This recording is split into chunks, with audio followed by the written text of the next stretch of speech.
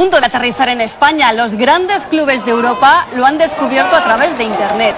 Y todos quieren hacerle una prueba. De hecho, Claudio, así se llama este niño, ya tiene cita en La Masía y en Valdebebas. Puede tratarse del nuevo Leo Messi. Desde luego sus historias se parecen mucho.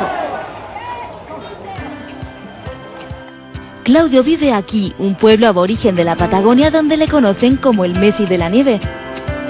Apenas tiene 8 años, no levanta un palmo del suelo, pero se ha ganado el apodo por golazos como estos. Él también es más bajito, pero tiene muchos recursos. Por mucho que le cerquen, es tan difícil de parar como la pulga. Y es casi imposible que sus jugadas no acaben en gol.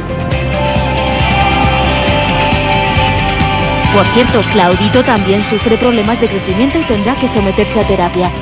Ahora vive con su abuelo, fue él el que colgó un vídeo suyo en internet y un agente español el que lo vio y le ha abierto las puertas de Madrid y Barça. El Messi Mapuche llegará a España ahora en enero, puede que para quedarse. Ojalá hablemos de Claudio en un futuro. Le vamos